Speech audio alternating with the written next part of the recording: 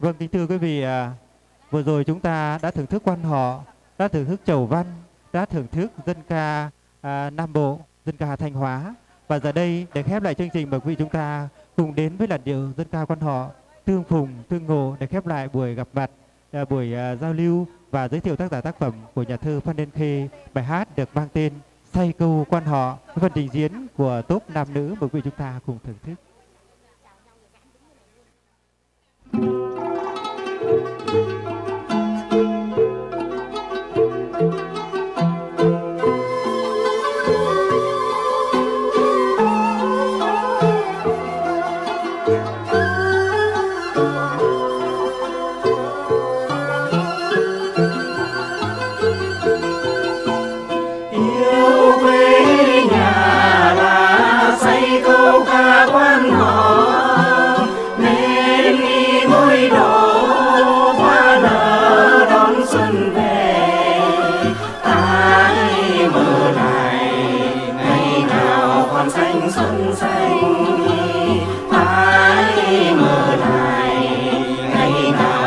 寸寸彩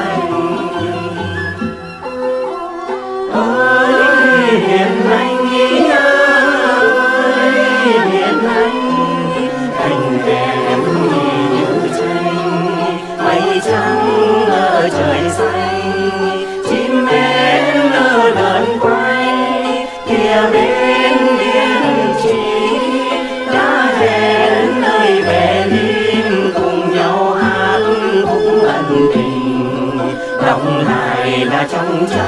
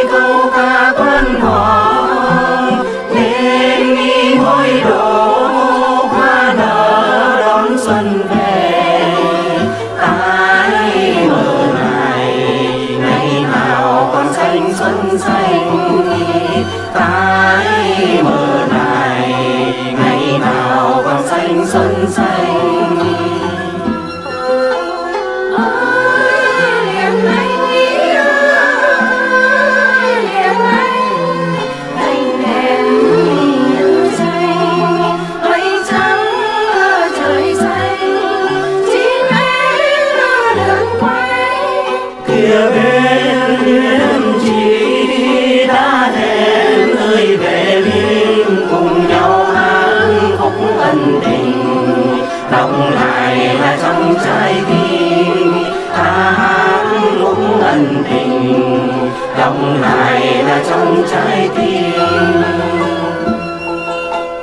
Trong lòng ta